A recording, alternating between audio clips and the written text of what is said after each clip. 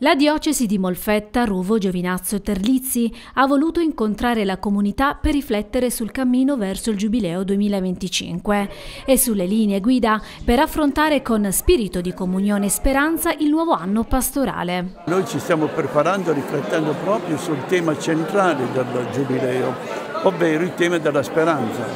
Pellegrini di speranza è il binomio che Santo Padre ha voluto affidare alla Chiesa universale.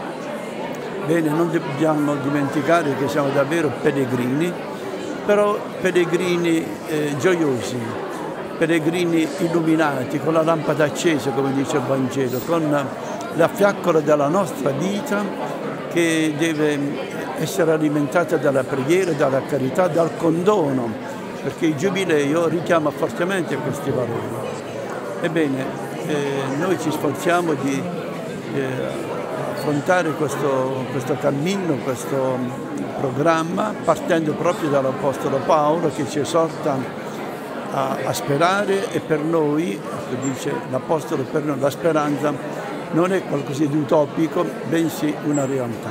Quello che auguro anche a tutti quanti voi. Vivete, viviamo tutti di speranza e soprattutto alimentiamo la fiaccola della speranza con l'olio della carità dovunque. Eh, utilizzeremo um, le um, indicazioni che uh, sono uh, state uh, um, scritte nella, nell'ultima sintesi diocesana, proprio quella della sintesi, sintesi della, della, fase sapienziale dove ci sono già evidenziate alcune tematiche che poi diverranno scelte operative per la nostra Chiesa locale. Relatore del convegno dal titolo Pellegrini di Speranza, Don Sebastiano Pinto, biblista e docente di esegesi presso la Facoltà Teologica Pugliese. Soprattutto questo nostro mondo ha bisogno di questa speranza, perché la speranza apre a quella dimensione ultraterrena che per noi cristiani è fondamentale, ma anche per i non credenti.